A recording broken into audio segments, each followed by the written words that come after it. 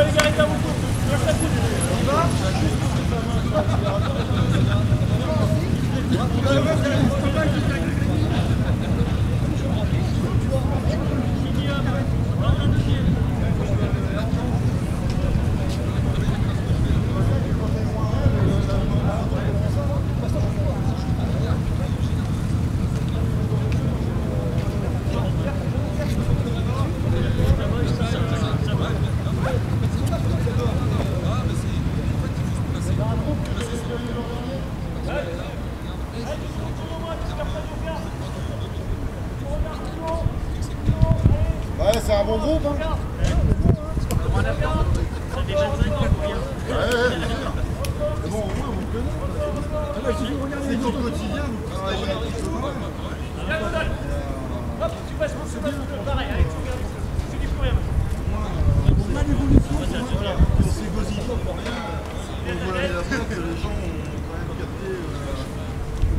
Come on.